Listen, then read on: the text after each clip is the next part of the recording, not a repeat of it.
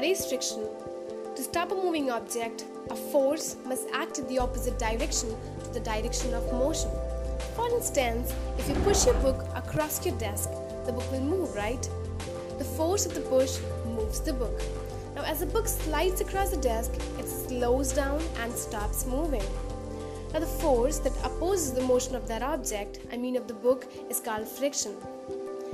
Now, if you make it more simpler, then friction basically is the resistance to the motion of one object moving relative to the another.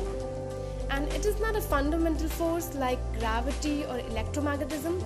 Instead, scientists believe that it is the result of the electromagnetic attraction between charged particles into touching surfaces. Therefore, friction is very essential to our life.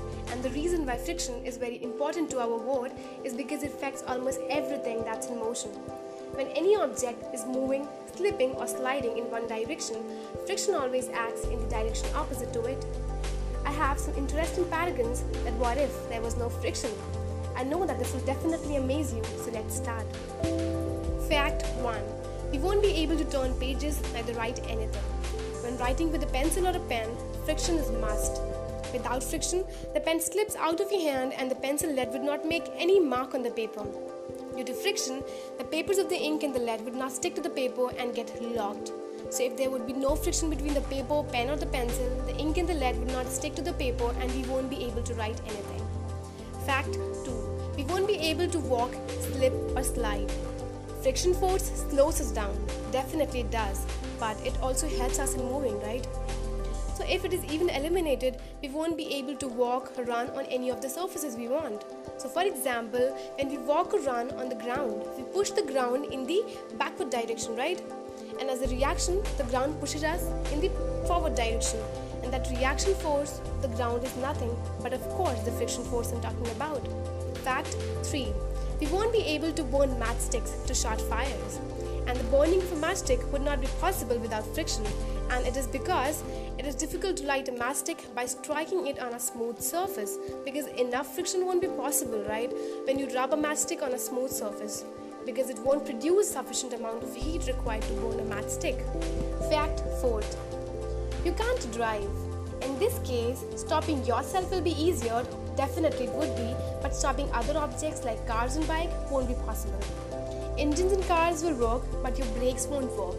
So even though friction is thought of a force that opposes the motion of an object, but the motion of a car would not be possible without friction.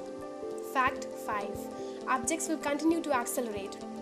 There will not only be the lack of friction between the surfaces, but there will also be the lack of air resistance and due to less molecular friction. So if you push off something even with a very small acceleration, you will continue accelerating until you hit something very hard. And this is how rocket propulsion works. A rocket throws exhaust gas in one direction and in return it gets a push from the backward direction. Fact 6. You can't pick anything up and it is because your ability to grip and pick things up is due to friction. Anything you were holding on to at the moment friction ceased to exist would instantly fall on the ground or fly out of your hand. Fact 7. Anything entering Earth's surface from the outer space will hit the Earth at astronomical speeds. Meteors.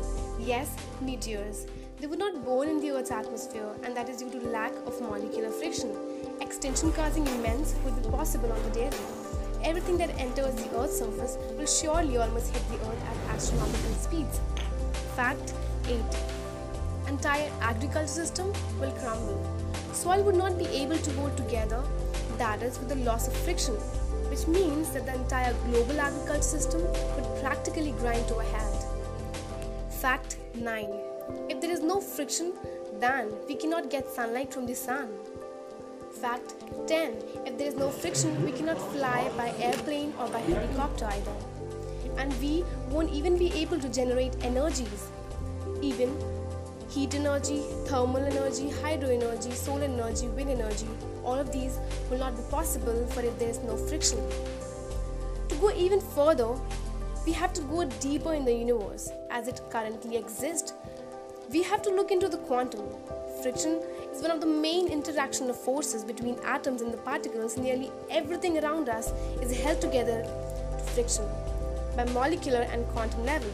So, without friction, materials will have almost no resistance to sharing forces, and the world will become almost a homogeneous, featureless blob.